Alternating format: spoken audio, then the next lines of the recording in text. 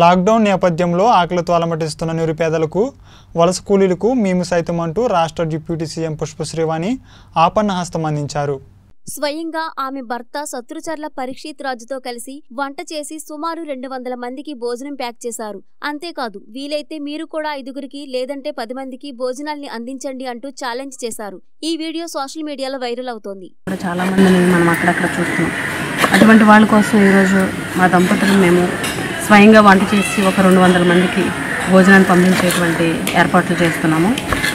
ఈరోజు ఈ సందర్భంగా నేను ఒక ఛాలెంజ్ని మీ- అందరికీ కూడా ఇస్తున్నాను.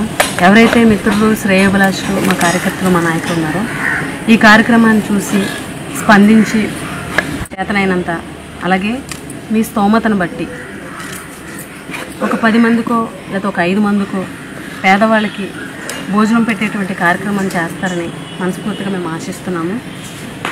ఈ ఛాలెంజ్ని స్వీకరించి దయించి కొంతమంది పేదవాళ్ళకి భోజనం అందేటువంటి కార్యక్రమం ముందుకెళ్తుందని మనస్ఫూర్తిగా నేను నమ్ముతున్నాను.